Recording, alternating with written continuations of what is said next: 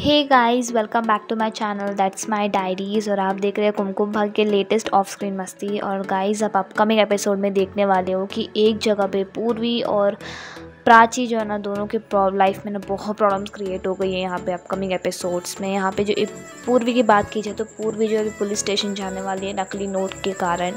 और यहाँ पे जो है प्राची भी जो है, अब उसका घर छोड़ना पड़ रहा है। उसकी नानी जो सरला माँ थी उनका भी घर छोड़ना पड़ रहा है उसे क्योंकि बैंक में लोन लेने के कारण उनको पूरा घर छोड़ने के लिए कहा गया है।